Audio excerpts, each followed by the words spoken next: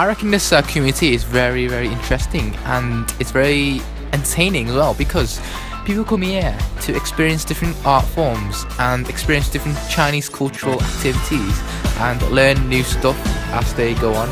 This is what the community is about.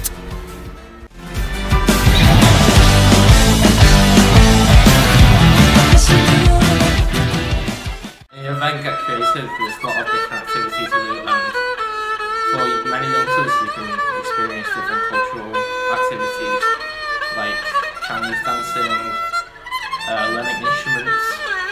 So yeah, it's pretty good. It can help you can help you socialise with people and make friends.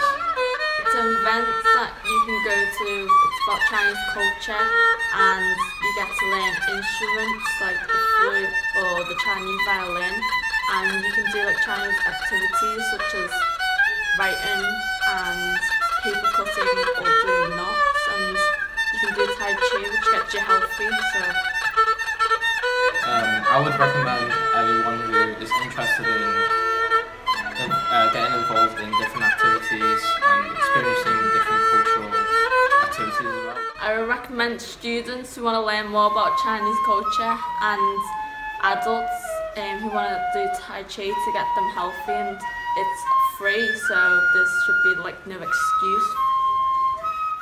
It's a free event and there's many different activities that you can get involved with like Chinese dance, Tai Chi and learning Chinese instruments. For example, this instrument called gahu is a Chinese violin